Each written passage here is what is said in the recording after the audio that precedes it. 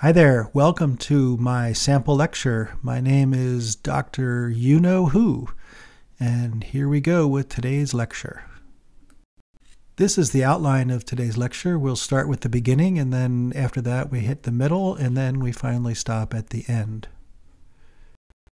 This is the beginning of the lecture. Here's where we start. We lay out what we're going to say, give you some teasers to see what's going to follow and basically set up the rest of the lecture. And here we are in the middle of the lecture with the main meat and potatoes of the lecture and the material. We'll get sidetracked a few times with some interesting stories, maybe tell some jokes and so on, and then we'll uh, wrap up the main part of the lecture.